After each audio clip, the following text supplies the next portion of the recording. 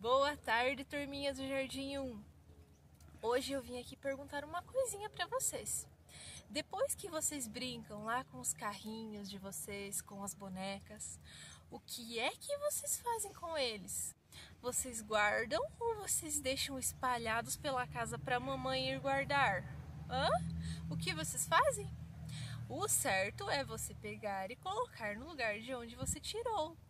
Isso mesmo. Agora, Lá na nossa apostila desenhar, temos um baú. Olha só, e esse baú aqui, ele está vazio. Que tal se nós organizarmos nossos brinquedos aqui?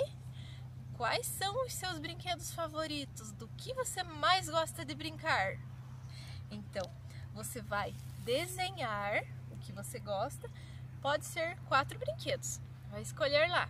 Por exemplo, uma bola, um ursinho, uma boneca, o brinquedo que você gosta, vai recortar e vai colar nesse baú aqui.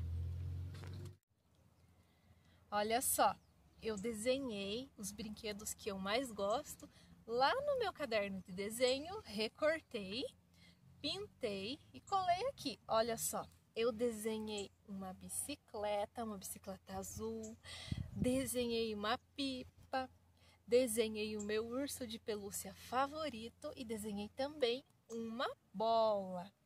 Agora eu quero ver quais são os seus brinquedos favoritos. Então desenhe, pinte bem bonito e mande foto para me ver. E não esqueça de colocar a data da atividade. Um beijão!